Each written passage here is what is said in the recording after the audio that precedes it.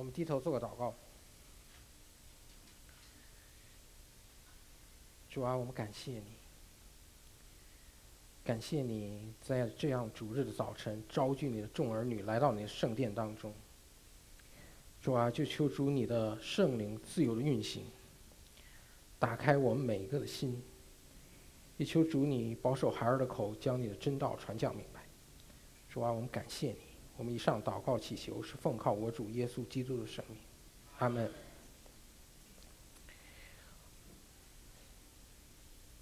好，我们开始先看一段圣经，是马太福音五章十三节到十六节。有圣经的可以打开圣经，也可以看一下这个屏幕。我们一起来读。你们是世上的盐，盐若失了味，怎么叫它再咸呢？以后无用，不过丢在外边，被人践踏了。你们是世上的光，城造在山上，是不能隐藏的。人点灯，不放在斗底下，是放在灯台上，就照亮一家的人。你们的光也当这样照在人前。叫你们的好行为，便将荣耀归给你们在天上的父。好，现在在美国，估计在每个人的呃脑里都在想一件事，就是马上要进行的美国总统大选。这次选举可以说跟以往有很多的不一样。我最近。看 CNN 一篇社论，估计道出了很多人的心声。这篇社论是讲他在呃 CNN 在网上做了一个实验，就是讲就说看看大家的选择，把两位共和党与民主党候选人，第三位的选择是一个。难以开的这个坚果，我当时看了还以为是有人在闹这个恶作剧，但实际上是真的。就是在网上有三个选择，一个选择是民主党的候选人，第二个选择是共和党的候选人，第三个选择就是这个难开的坚果。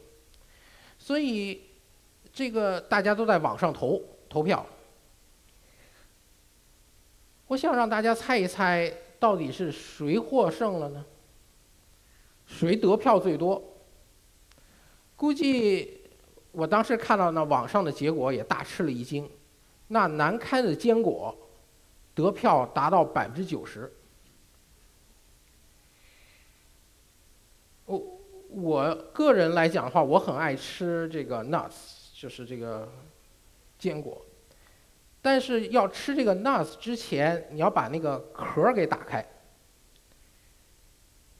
有些是很容易那个壳儿给打开的，但有些壳儿是非常难以打开的。我记得以前小的时候喜欢吃那种叫小胡桃的那种坚果，非常有味道。但是这个壳儿非常难以打开，用牙齿去咬。怕把牙崩了，用手去掰掰不开，最后没办法拿起榔头，一下打下去，壳是开了，但里头的人儿也不见了，也给砸碎了。所以说是一件非常 frustrating 的事情，但是就是这么样一件 frustrating 的选择，居然得了百分之九十的票，所以这个估计是。体现了美国很多民众的心声。后来，这个 C N 这篇社论的分析就说：“我们为什么到了今天如此窘迫的境况？为什么呢？”分析就略过，最后的结论是：实际上原因是，是我们这些选民 deserve to be。责任在我们，是我们这些 citizen 这些选民身上，是怎样的人才有了怎样的候选人，总统候选人。当时我读了以后，觉得这个甚是发人深省，觉得很有道理。实际上，我们看看我们现在所处的这个美国的社会，内忧外乱，道德崩溃，传统价值离弃，全世界都是如此，美国也是一样。所以，真的是因为我们这些民众、这些文化，我们所处在的这个世界，就是如此的堕落。和黑暗，才有现在这种总统美国总统选举的这个怪怪象。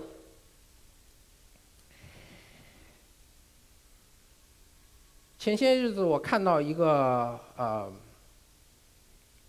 是林肯总统当年派到英国的这个呃大使，他曾经讲过一段话，我觉得很有意思，我在这里啊。扣一下，请翻到那个下一页。他就讲，就是说这个，我们没有一个人是一个是一个 island，no man is island，就是说没有一个人是个孤岛。No human being can come into this world without increasing or diminishing the sum total of human happiness. Everywhere his presence or absence will be felt. Everywhere he will have companions who will be better or worse because of him. 他这讲的这个意思就是说， 每一个人在世界上，你不是一个孤立的一个个体。你在这世界上，不管你自己有没有这个感受，你总会影响其他的人，对这个世界、对这个社会、对这个文化。有其影响力。想当年，美国历史上出了很多很多优秀的总统，可能当时美国社会根本就想不到，我们会今天会面对着我们怎么样一位下届的总统。我读到一个故事是。Woodrow Wilson 的这个美国这位总统的 Wilson 总统的这个故事，他就讲到有一天他去，呃，一个 barber shop 就是理发店。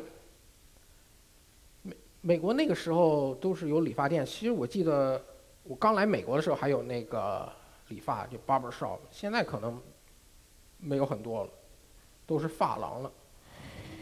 当时他就去这个。barber shop 理发理发店去理发，是个公共理发店，有很多其他人进来去理发。结果他就在等他那个呃，跟他在理发的时候，这时候呢，有一个人进来了，然后坐下来理发，就在坐在他旁边。他当时就回忆到，就说他当时的感受是一位大人物，big man。就是说，big guy 进入这个理发店。为什么他有这个感受呢？就因为他通过他的谈吐举止，和他这个理发、理发跟他给他理发的人的这个交谈上，他就学到这个，这学到这是一个 big guy，这个是了不起的一位人物。我们知道，这个这个是美国总统 Wilson 这个总统，他本身这个人就是一个 big guy，他的。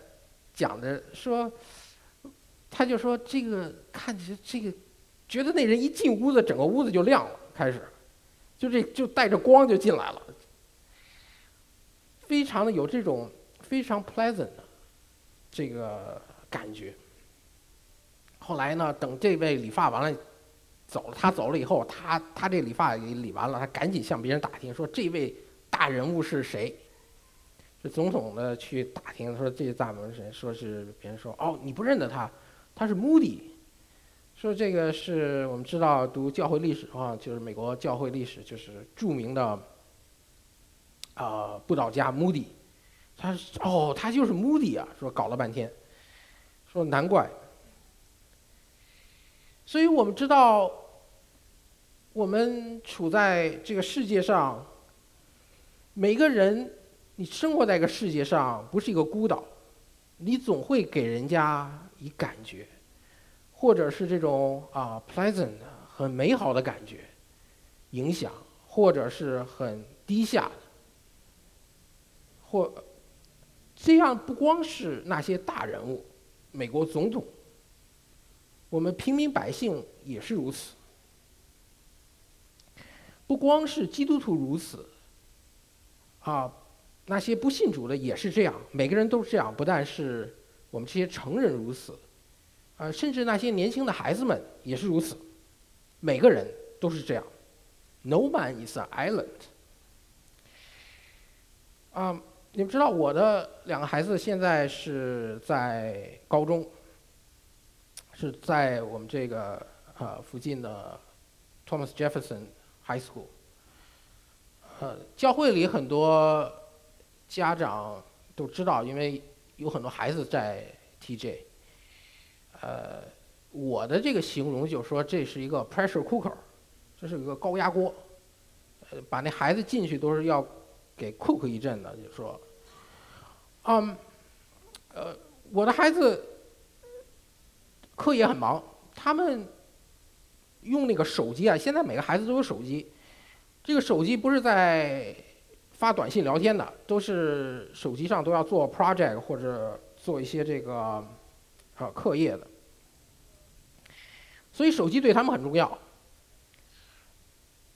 但有一次的话，他就是也是因为忙忙叨叨的话，他的手机就丢掉了，所以很紧张，因为。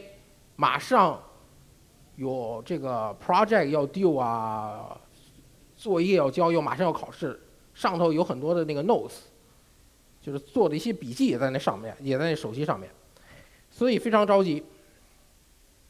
我就说这个，你你你你你别着急，你赶紧去你们学生的 network 上问一问，说看有没有人捡着你的手机了。结果呢，他一问，结果呢？真的是有人捡到这个他的手机，是他的一位同学。这位同学我一直没有什么印象，因为在啊，在学校里的话，有的孩子是比较突出的，就是学习课业很出色，大家都是知道的。有些孩子的话呢，是不是很突出的？可能是因为个人天分的缘故，啊，所以大家一些人的话就没有怎么在意。觉得是好像不是不是很重要的。这实际上你别看他们孩子在他们孩子小小的社会当中，学校当中的话也是如此。所以这位同学的话，平时是很不起眼的，因为好像这个感觉上是，呃，没有什么天分，也没有什么特长。呃，最近的话呢，这个学期开始的话呢，听到我孩子讲的话，他离开了这个学校，因为可能各种原因，虽然没有提到具体的原因，估计也是因为课业的压力无法适应，所以不得不啊黯然的离开了。但是就是这位呃，他一位同学捡到了我孩子这个手机，然后我就去问好了地址，就去取这个手机。就是这么一件简简单单的事情，当时我想说这个真是不错啊，捡到手机，然后我还要感谢他一番。结果去那里的话呢，那他我孩子同学把那个手机交给我，因为是 teenager，我是一个成人，但是就是短短的一两分钟的几句交谈，我就会发觉这位孩子的话是非常的。呃，懂事有礼，非常的 impressed。然后最后他还跟我讲说：“你看这个，这个手机的话，我还帮你把这个手机的电给充满了。”你说这么一个小孩子会有这样的，这样 care，会照顾到别人的很多的这个感受。我说真是非常的 impress，。所以我后来我听我孩子说，他也离开了这个学校。我还觉得说，真是这样的好的孩子的话，我估计不光是在 TJ，无论到哪个，无论到哪里，他都会啊，都会很成功的。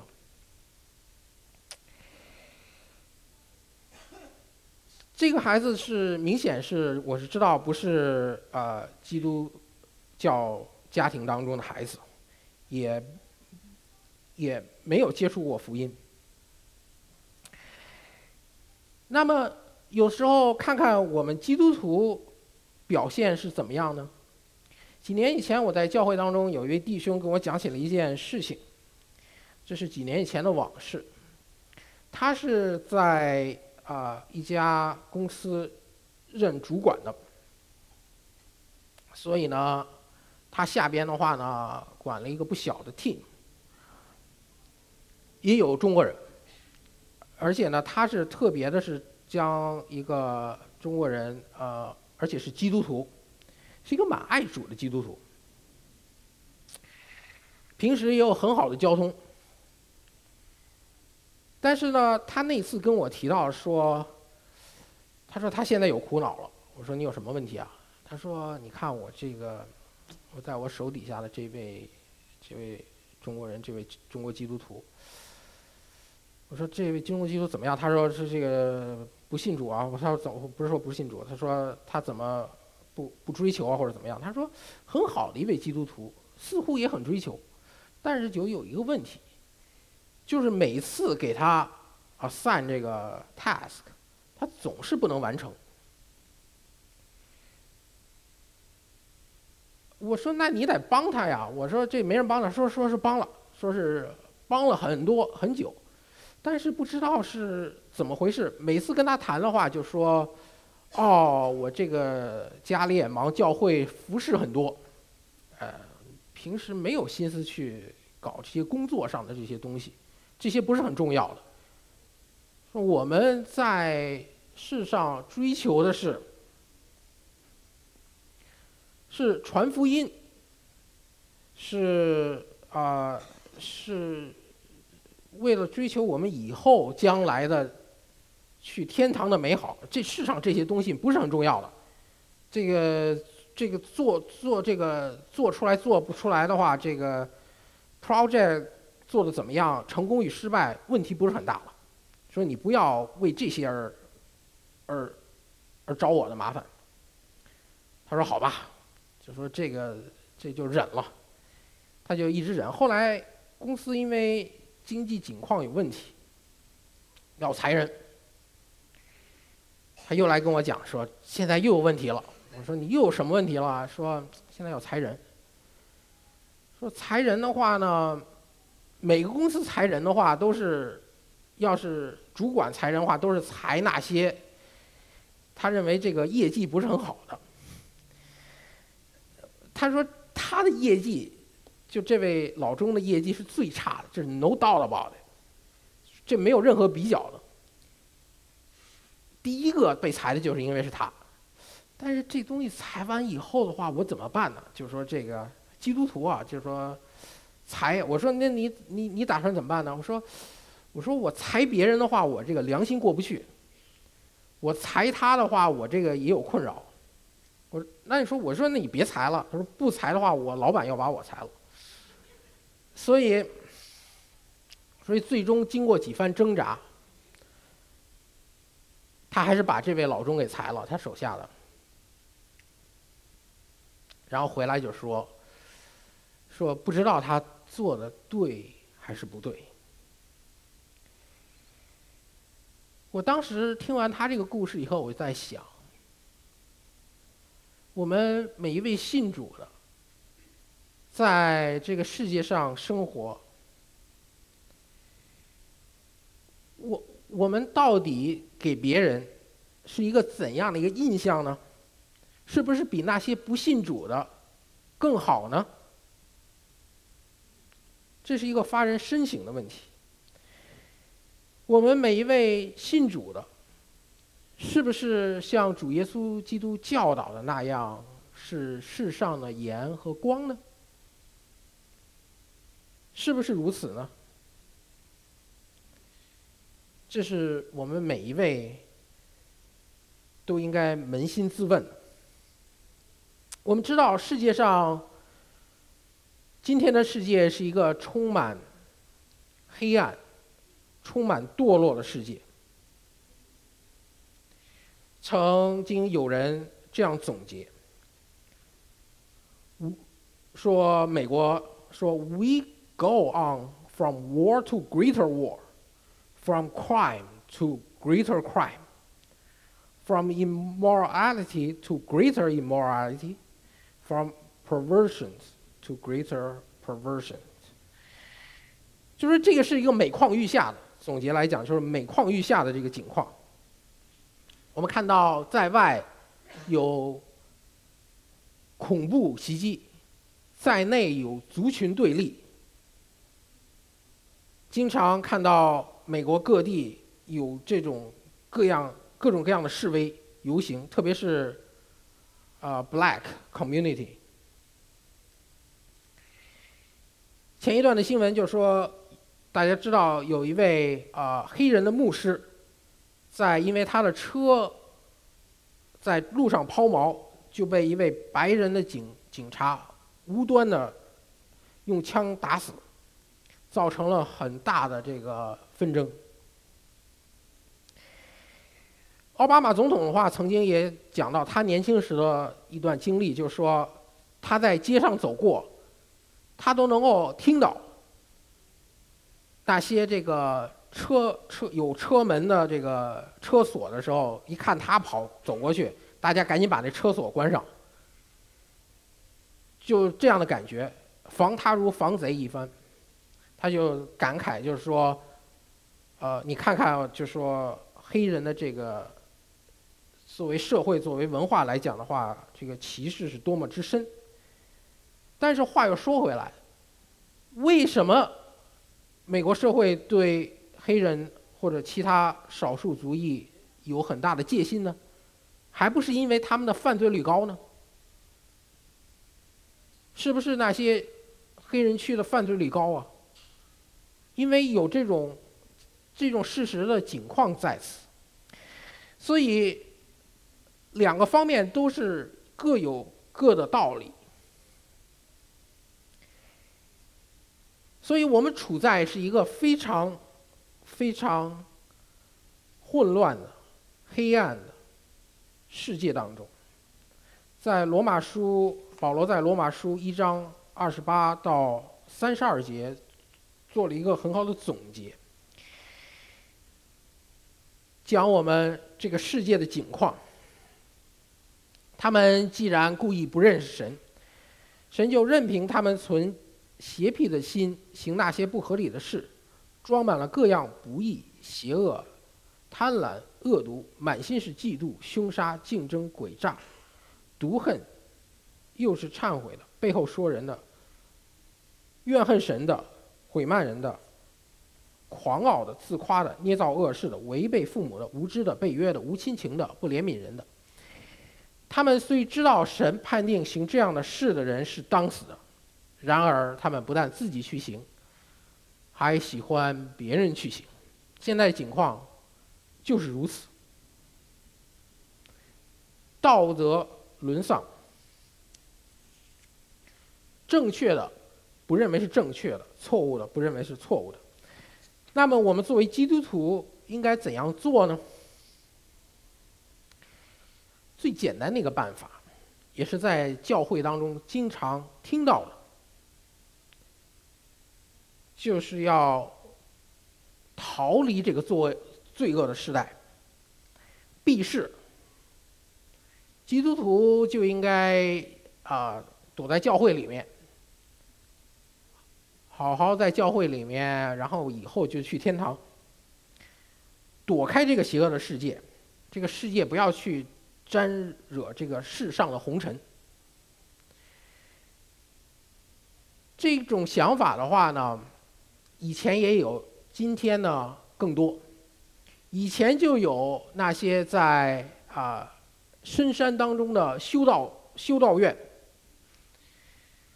但是修道院的院墙虽高，但世界上的影响并不容易从心中除去。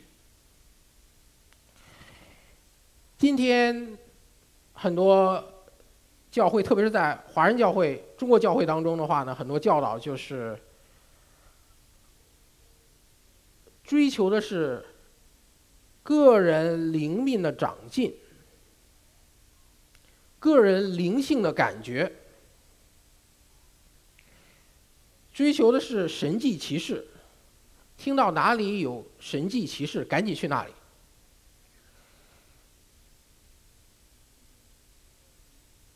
社会上的事情不要去多沾染，因为它会使我们灵性堕落。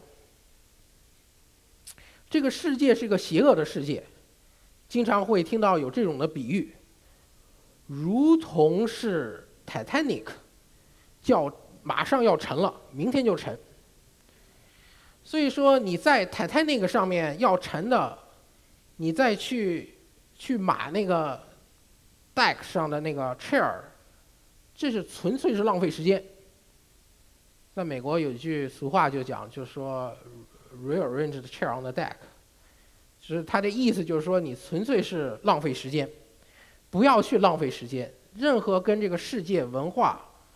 和其他人在社会上其他的人啊有接触的，都是浪费时间。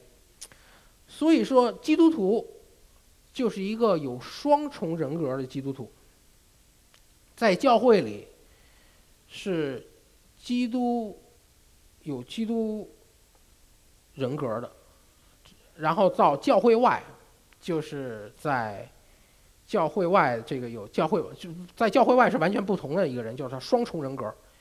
呃，这个叫 split of character，这实际上是 split of character 的话，实际上说句不好听的话，实际上是是一个精神病的前兆了。但是虽然说是不好听，但是自己有时候扪心自问想一想，我们作为基督徒是不是如此呢？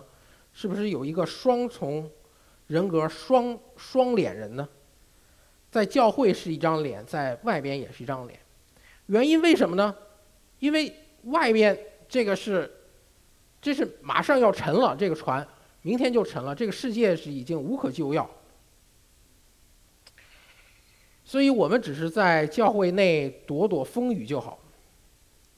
这是啊，华人教会、中国教会从已经是很多年都是这样的传统，追求的。是里走的是里面的灵性的增长，叫做里面的道路，在外面，在世界上，在文化上，呃，不用去管它，因为那都是邪恶的，管多了你自己就会被沾染。我在神学院当中的话，我发现有一个现象，就是大部分当然是这是美国神学院，大部分是美国弟兄姊妹。但是也有不少是韩国的弟兄姊妹，而且他们韩国的弟兄姊妹的话都非常的年轻。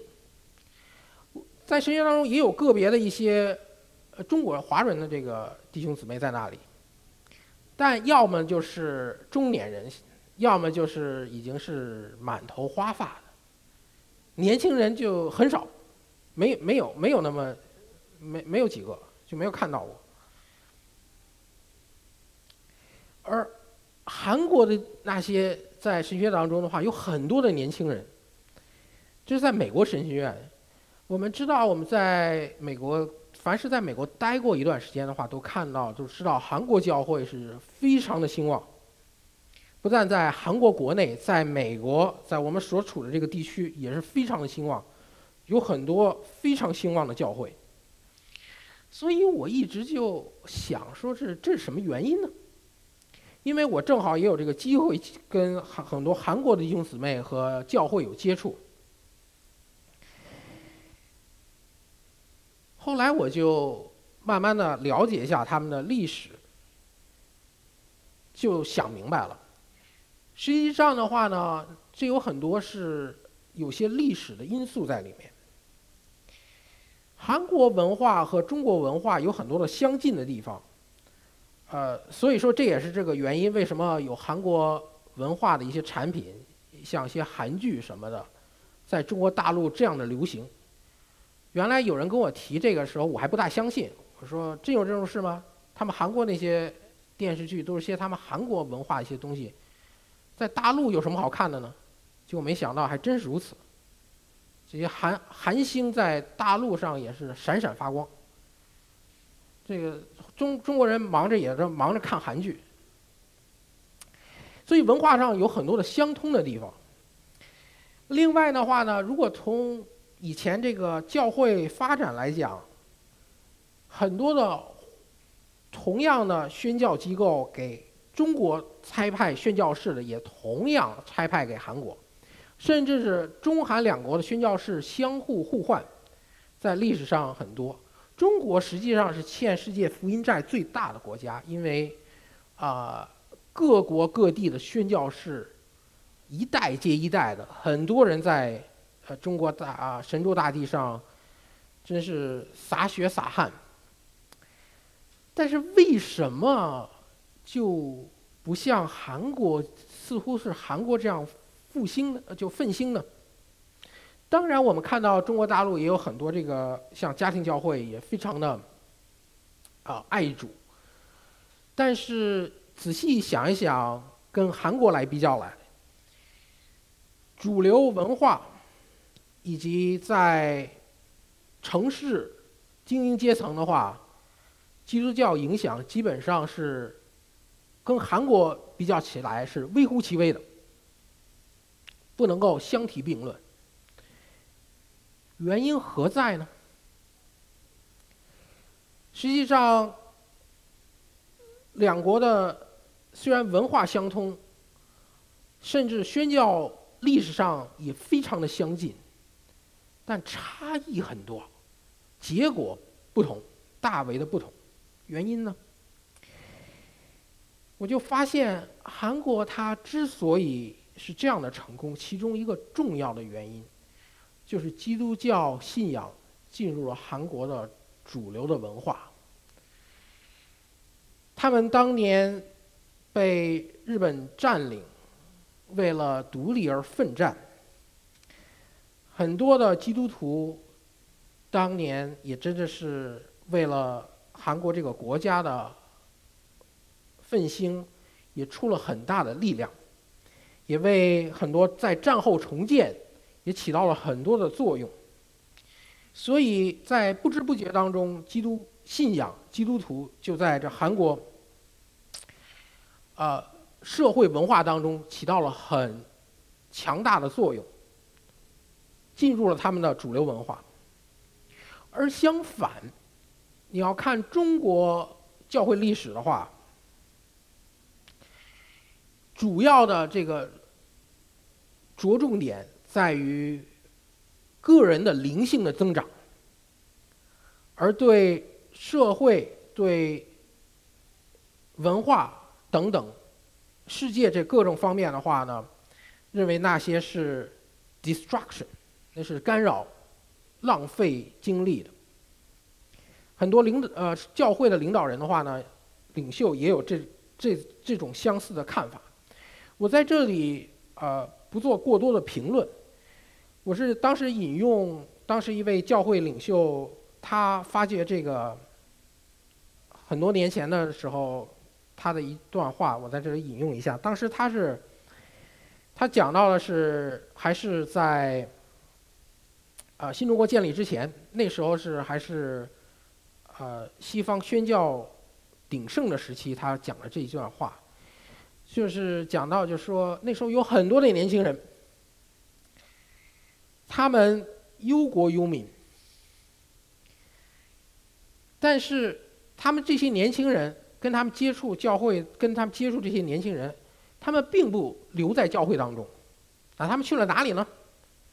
他们觉得在教会并不能够给中国当时带来任何的希望，因为那些教会的基督徒只是在非常自私的 selfishly think about。非常自私的啊，想着他们个人的，是不是他们个人得救，是不是他们个人要去天堂，他们并不关心社会的疾苦。所以那些年轻人的话呢，去了哪里呢？当然去投奔了共产党了。所以很多当时有为的年轻人都去投奔了共产党。啊，这是当时历史的一段情况。我们看到历史的教训，实际上到今天，仍然教会当然仍然没有完全的接受。但今天我们想想，传福音是容易吗？传福音绝不容易。我最近在神学院，当时读这个读这门课，就是传福音这门课的话，当时教授就总结，就说，呃，不用等多少年以后，就是今天，你给那些年轻人传福音的话，你觉得你这个 communication 都不是在一个同一个 channel 上面。你知道，这要是呃，要 communication，我们知道要在一个一个同一个频率，我讲的你才明白，你听的是什么意思，我我讲的是什么意思。你要是根本不明白我讲的什么意思的话，那就是啊，这个传不传福音的没有用，因为他根本听不明白你在讲些什么。现在的年轻人就是这样子。以前可能还在讲着是不是世界上有没有什么真理，还跟你在提一些问题。现在套用美国一句啊，年轻人经常讲的话，就是说，“Don't know, don't care”，是不是？就是不 care。为什么不 care 的话，这就是。想不到基督信仰跟我们、我们这个世界、我们这个文化、我们的生命有什么作用？如果你跟他们讲说这个怎样怎样，为什么是怎样怎样呢？因为是圣经如此讲，经常讲说 Bible say so，that settle it。你要这样讲的话呢，人家根本就。听不进去，最终的话呢，就是塞闭塞了这个 communication channel。所以，我们看到我们在教会当中的话呢，做基督徒难道是在教会当中关起门来自说自话，不去管世界上的任何的事情呢？自以为属灵的这样做是不是呢？实际上。我们这样做是不对的，为什么呢？因为主耶稣基督不是这样教导的。我们回来看一下这个马太福音，啊，五章我我们刚才读到的这一段，五章十三节，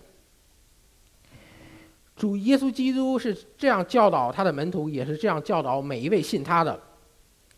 你们是世上的盐，盐若失了味，怎能叫它再咸呢？以后无用。不过丢在外边，被人践踏了。盐在以色列当时的以色列那个时候的历史上，在中东那时候历史上是一个很贵重的。他经常以此贵重代表这个盐有不毁坏的这个意思，用这个盐作为他们立约的。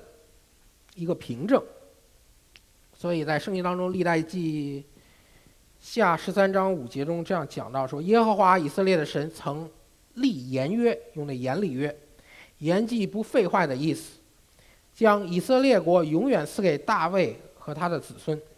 这是历代记下十三章五节。在立位记二章十三节中也同样讲到，这是讲到啊。祭祀的时候，凡献为素祭的共用都要用盐调和了，在素祭上不可缺了你神立约的盐，立约的盐，一切供物都要配盐而献。在马可福音九章四四十九节到五十节中呢，是必用火当盐腌个人，凡祭物必用盐腌，盐本是好的，若失了味。可用什么叫它再咸呢？你们里头应当有盐。所以，我们看到这个盐，是圣经当中经常被提到的，也是在当时犹太历史上也是非常重要的一个象征，一个非常重要的象征。那么我们要看下面要看一看这个盐到底有哪些这个象征呢？其一的话呢，就是啊，就是这个纯洁，purity。我们基督徒要要保守在属灵上的纯洁，在雅各书一章二十七节中讲到说，保守自己不沾染世俗，就是纯洁性。第二个的话呢。就是要有味道，flavor。在哥罗西书四章五到六节中呢是这样讲到：你们要爱惜光阴，用智慧与外人交往，你们的言语要常常带着和气，好像用盐调和，就可以知道该怎样回答个人。基督徒要有味道。有的时候你平时跟别人聊天，或者跟人家交谈，你有的时候觉得有的人他讲起话来非常的有道理，很有见地，你自不自觉的就会被吸引。这就是说是要有味道，要有智慧。我们基督徒也是如此，不要。一讲什么什么都不懂，什么都不知道。别人有什么问题就说：“The Bible says so. That's settle it. That's it.” 只要信，不要问。这个听你可能自己觉得属灵，但真的是与圣经的教导背道而驰，与主耶稣基督的教导背道而驰。第三个代表的是这个盐带来会带来饥渴，thirsty。盐会给别人带来这个饥渴，饥渴真理，饥渴我们主耶稣基督。另外一个带来的话呢，盐我们知道盐撒到伤口上是很痛的。以前有的时候没有消毒，那时候没有办法，要救命的话就用盐水。虽然很痛，但是可以救命。然后最后一个的话呢，代表的话呢，就是这个能够保守，能够保存，preservation。用盐腌了的食物的话呢，可以保鲜。所以我们看到这里讲到盐的话，有很多的很重要的代表，很重要的功用。我们作为基督徒的话呢，也是如此，要成为这世上的盐。如若不然，这是主耶稣基督的这个警告。他除了这教导以外，也有的警告。警告是什么的话呢？说你要是这个没有味道的盐，盐若失了味，没有味道，那么结果是怎样的话呢？那就没有用处啊！这个盐是没有用处的，因为没有味道嘛，那就会被丢在外边，被人践踏了。我不知道弟兄姊妹读到这一段的话有什么感受？我觉当感受的话是一个，觉得是主耶稣基督对我们每一位、每一位信主的弟兄姊妹一个很严厉的警告。每位弟兄姊妹都应扪心自问：我们是不是那失了味的盐？接下来读是啊十四到十六，十四到十六节，这是讲光。你们是世上的光，城照在山上，是不能隐藏的。人点灯不放在斗底下。是放在灯台上，就照亮一家人。你们的光也当这样照在人前，叫他们看见你们的好行为，便将荣耀归给你们在天上的父。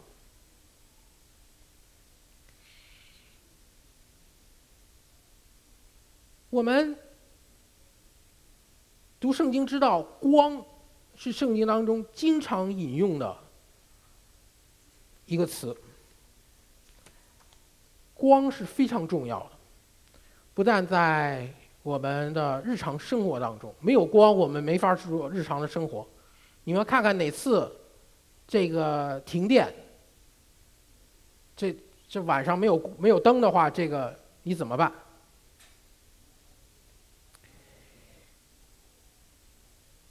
作为我们信仰来讲，光也是非常重要的。为什么的话呢？因为神就是光。约翰一书一章五到七节中讲到，说神就是光，在他毫无黑暗。就是我们从主所听见又报给你们的消信信息。我们若说是与神将相交，却仍在黑暗里行，就是说谎话，不行真理了。我们若在光明中行，如同神在光明中行，就彼此相交。神儿子耶稣的血也洗净我们一切的罪。神的话也是光，你的话是我脚前的灯，路上的光。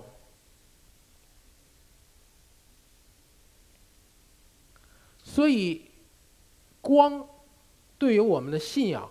对于我们的生命是非常的重要。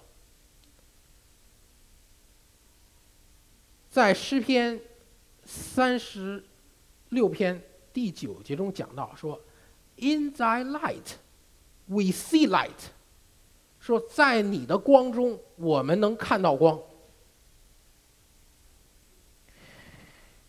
我记得以前读 C.S. Lewis 那个《Mere Christianity》。呃，他当时举了一个讲了一个例子，印象非常深刻。C.S. 路易斯他讲到，就是说他在啊他在剑桥的时候，他的那个有一个 study，就是说他那个书房里，他就有一次他看到那个外面的光，早晨的光照进来以后。你们知道那个光下面有很多那个灰尘，马上就显现了。平时你根本就看不到，但是只有在光里，你才看到这个世界的真相。你看到哇，我们居然生活在这样一个充满这个污垢、灰尘的地方，我自己平时还不觉得。说 “In thy light, we see light”，在光中我们才能够看到。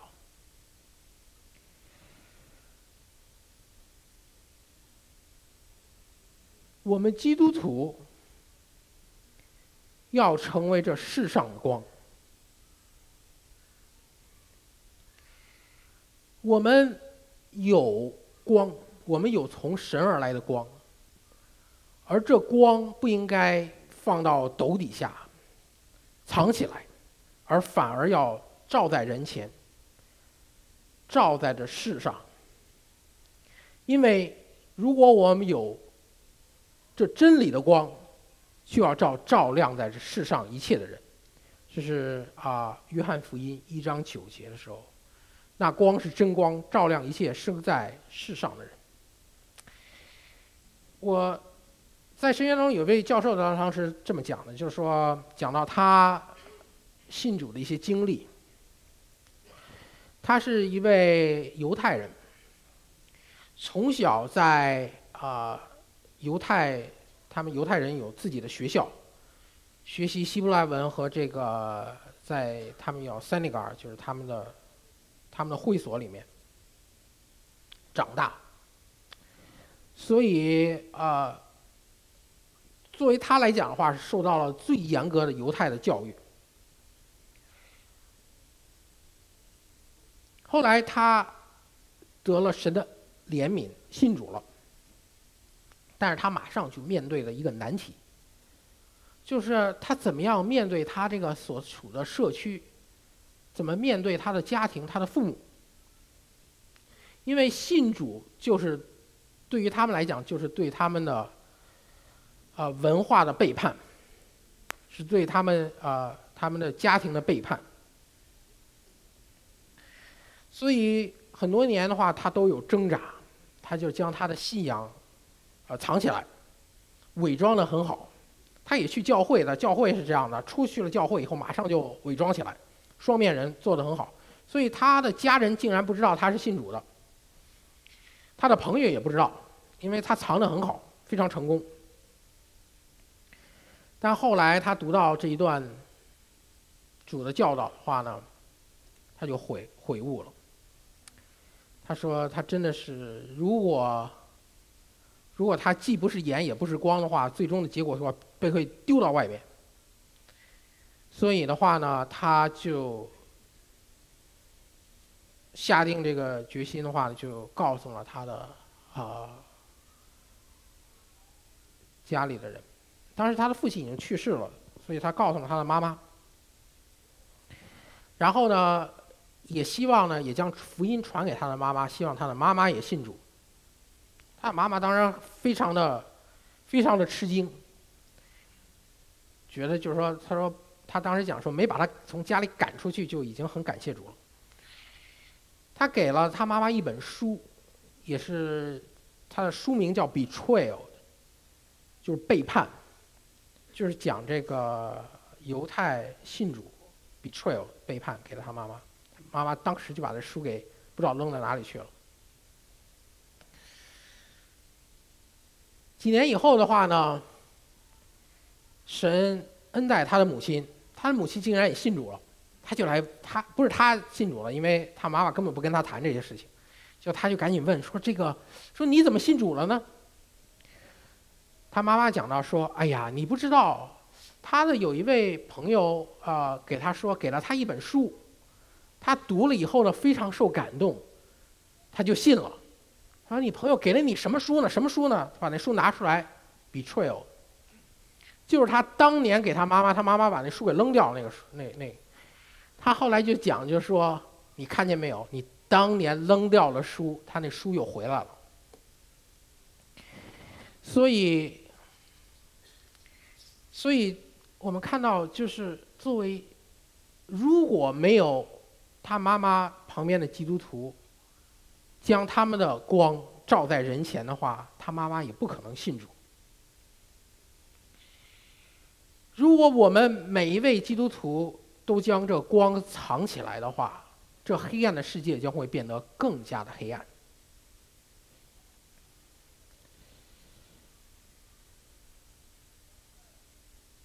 我们不是要逃离这个世界，神从来没有教导说，因为这个世界的黑暗，我们就要逃离这个世界。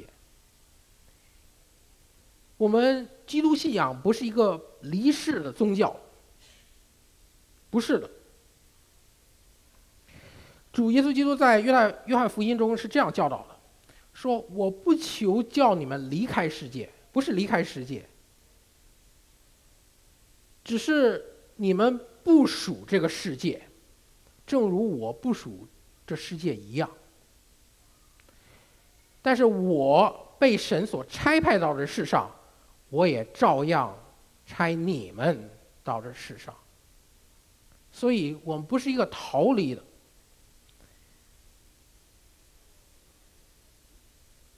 为作为对于世界上来讲的话，我们是 not in，我们是 in it，but not of it，是在这个世界中，但不属这个世界。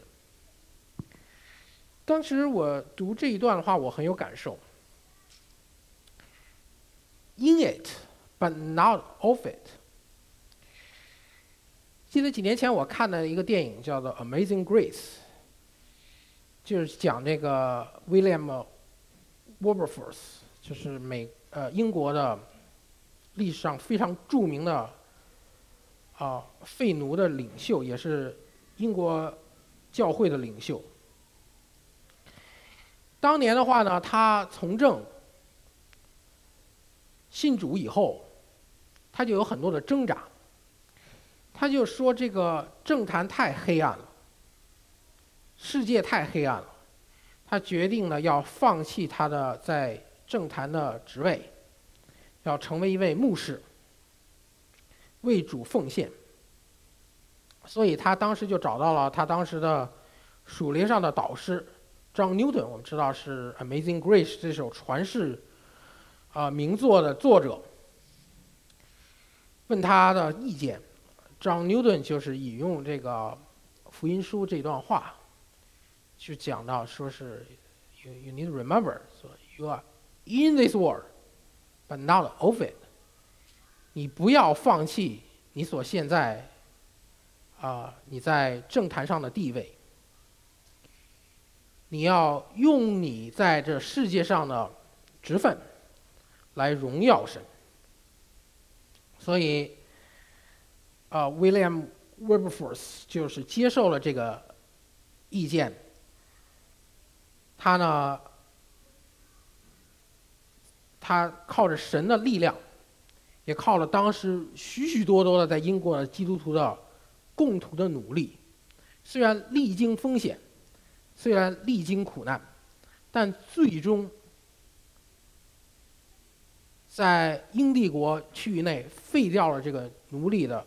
贩卖，这个奴隶邪恶的贩卖，当时教会是一个什么态度呢？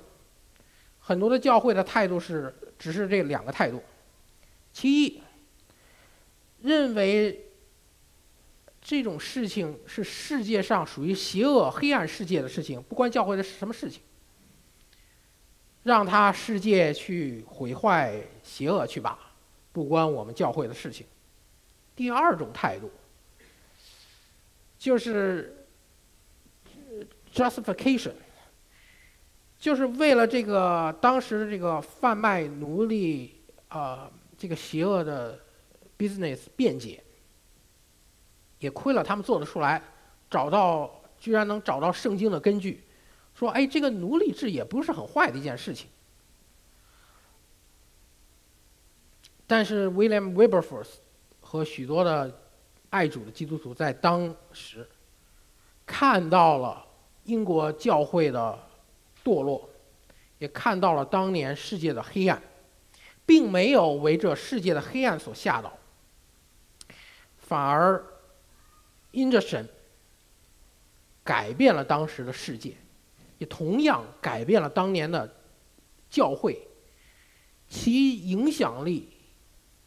我们今天还能够感觉到，它改变了当年那个时代，通过那当年的时代，差遣了多少的爱主的弟兄姊妹来到世界各地，包括新大陆、美国，也包括我们中国。所以说，这是神托付给他每一位爱他的子女的使命。就是做这世上的盐和光。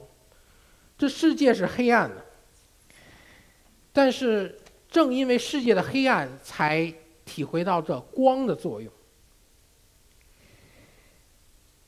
盐是在里面的工作，光是在外彰显的工作。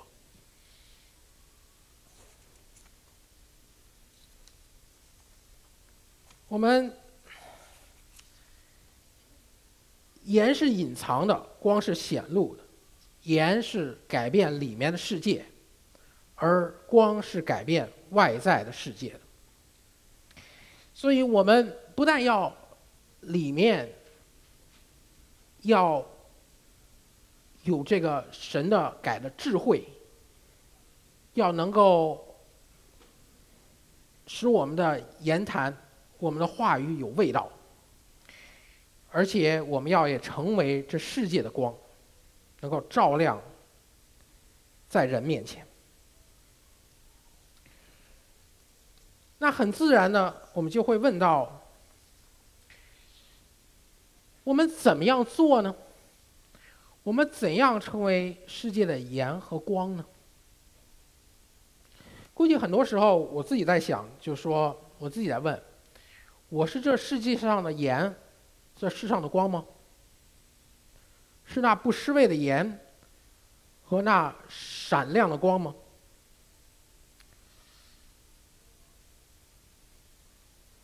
平心而论，我只能说，也许有时候是，但有时候我也不知道，可能不是。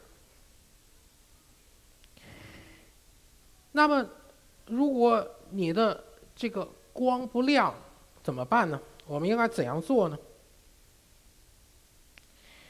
我们知道，我们虽然信主了，但是我们每一个人都是蒙恩的罪人。不要自视过高，要看自己合乎中道。实际上，我们自己有很多很多的软弱，非常多的软弱。有的时候真的是没有光，跟那黑暗是融为一体的，看起来门是印的。但是怎样才有光呢？一个灯只有插入电源才有光，只有我们连入光源才能够有光。约翰一书一章七节中是这样讲到：“我们若在光明中行，如同神在光明中，就彼此相交。他儿子耶稣的血也洗净我们一切的罪。所以我们要有光，要行在神的光里，要在主要与主耶稣基督相连。”与他的生命相连，因为主耶稣基督就是神荣耀所发的光辉。这是在希伯来书一章三呃一章三节。主耶稣基督是神荣耀所发的光辉，是神本体的真相。常用他全能的命令托住万有，他洗净了人的罪。所以，我们只有。与神与主耶稣基督相连，在神的光中，我们才有光。而神的光，当我们与他的光贴近的时候，他的光也照亮了在我们心里。在哥林多后书四章六节中是这样讲到：说那吩咐光从黑暗里照出的神，已经照在我们心里，这光已经照在我们心里。所以我们叫我们得知神荣耀的光，是显在耶稣基督的面上。然后接下来讲，他在三章十八节中继续讲到，就说：我们众人既然敞着脸得以看见主的荣光，好像从镜子里反照，就变成主的形状，荣上加荣，如同从主的灵变成的。这个有非常深厚的含义。他讲的是什么一个意思呢？就是讲到主耶稣基督脸上的荣光。我们看到，因看到耶稣基督脸上的荣光，而那个光就会给改变我们。那光就会照到我们心里，就会改变我们。怎么样改变呢？我们今天并没有看到主耶稣基督，他并没有像当年使徒的时候、时代的时候生活在我们当中。那么我们怎么看到主耶稣基督脸上的荣光呢？就是通过他的话语。这是的讲到，就说是不是直接的看，是好像从镜子里。反照，是通过这个镜子反照，而这个这个媒体就是他的话语，就是这本圣经是主的这个话语的教导，从镜子里反照，而因着读他的话语，看到了他的荣光，他的荣光也照反照给我们，照在我们心里面。这个过程当中的话呢，就会改变我们的生命。是改变我们生命是怎样的话呢？就会变成主的形状，荣上加荣，from glory to glory，如同从主的灵变成的圣灵的工作。所以，我们要成为这世界的光，就要来到主的基主耶稣基督的面前，看他脸上的荣光，而看他的光要敞着脸看，不带在没有遮住的帕子，不是像在摩西那时候讲到脸上要有帕子，要移去，要看神。通过镜子，就是神的话语，改变我们的生命。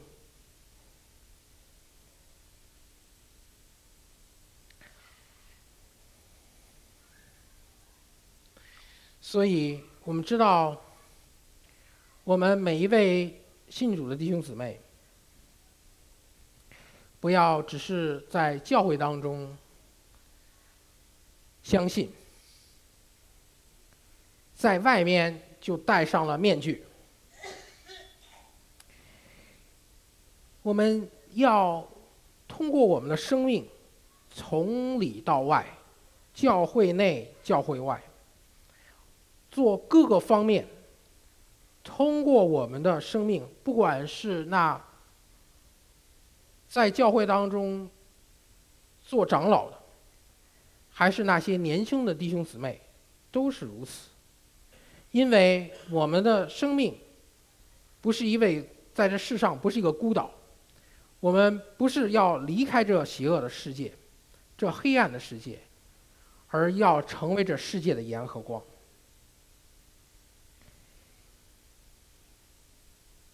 我在最后以两节经文结束这次的讲道，我们。基督徒要真的是要像我们很多的当年历史上那些先贤，你走进一个理发店，你走进你工作的场所，走进你的学校，走进你的家庭，走进世界上任何地方，你是不是让别人觉得那个地方突然就亮起来了呢？你是不是后，在你在其他人的生命当中，别人知道你、认识你，是不是能够感觉到，是不是能够闻到那基督熏香的气味呢？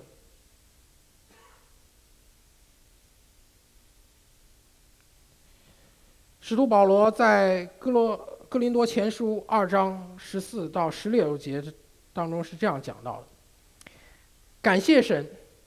常率领我们在基督里夸胜，并借着我们在各处响扬那因认识基督而有的香气。因为我们在神面前，无论在得救的人身上或灭亡的身上，都有基督熏香之气。我们是有基督熏香之气呢，还是有我们身上的这个这个恶臭？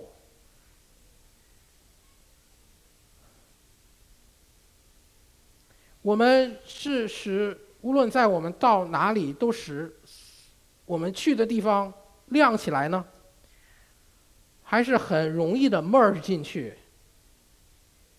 有很多的 merge 到我们周围的黑暗当中呢？菲利比书二章十五到十六节当中，保罗是这样讲到：是你们无可指责，诚实无伪。在这弯曲背拗的时代，做身无瑕无私的儿女，你们显在这世代上，好像明光照耀，将生命的道表明出来，将生命的道表明出来，叫我在基督的日子好夸我没有空跑，也没有徒劳。我们的生命是空跑呢？还是徒劳呢？我们的道，主耶稣基督的道是表明出来呢，通过我们的生命，是不是能够表明出来呢？我们每一位都是那蒙恩的罪人，身上有各种各样的软弱和缺点，但这不是，这不是我们任何的借口，因为每个人都是如此。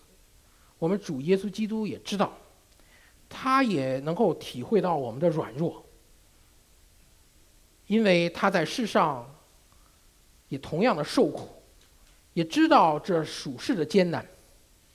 他体会我们，但是我们真的是作为他的儿女，要将他的话语存在心里，愿意。虽然这世界的黑暗，虽然这属世上有各样的艰难，但是我们愿意成为这世上的盐和光。让我们低头做个祷告。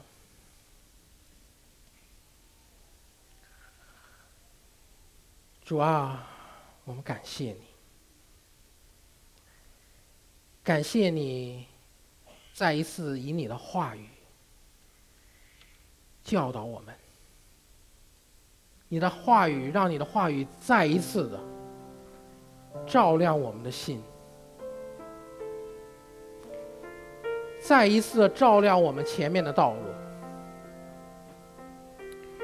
我们看到这世上是这样的黑暗，周围有很多不尽人意、背弃背弃你的事情，不法的事在增多。我们是这样软弱无力，我们是这样的，这样没有能力。在我们传福音的时候，我们最多听到的是那些人。告诉我们，Don't care。不知道你的真理跟我们生命当中有怎样的作用？真的是我们再一次来到你的宝座面前，认罪悔改，看看我们的生命、我们的话语是不是那失了味道的盐？看看我们的生命是不是那放到斗底下的光？主啊，真的是怜悯我们，怜悯我们的各样的软弱。我们看到为什么我们传福音是这样没有的能力，这样没有效果，而我们看到以前众多的先贤，他们能够改变他们所处的时代，能够带领如此多的人能归向，改变他们所处的世界。我们今天也看到了很很多多的韩国的弟兄姊妹在我们周在我们周边，教会是这样的奋兴，他们是这样的摆上，而我们中国人，我们华人是欠属世全世界属世福音债最多的种族，我们做的是怎样的？我们看到你是给我们生命当中。当中无许多的恩典，上尖下流的恩典。你们看到，你们在你在众人当中拣选了我们这么多人，你们祝福我们，你给我们美好的工作、舒适的环境、充足的供应、充足的供给。但是我们又做了些什么呢？主啊，在这里，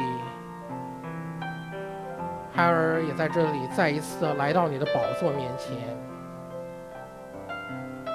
再一次的求你的怜悯。主啊，救出你的你的光，你脸面上荣耀的光，再一次的照亮我们的心，再一次的照亮我们的脸。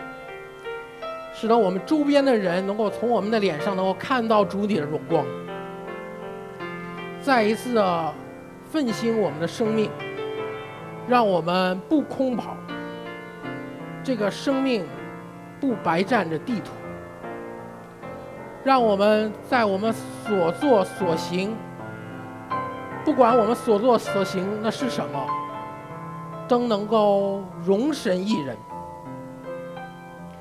主儿，我们感谢你。在这里，如果有弟兄姊妹心里有感动，愿意遵从你的教导，愿意成为这个世界的盐与光，就请你把手举起来，就请你举起你的手，在神面前，神的宝座就在这里。愿意成为那不失位的盐，不愿意被神丢弃在外面，就请你把手举起来。主啊，我们感谢你，你看到你的灵感动这么多的弟兄姊妹举起他们的手，愿意用他们的生命成为你美好的见证，成为这世界的盐与光，荣耀你的名。我们感谢你，就请你继续加添我们的力量，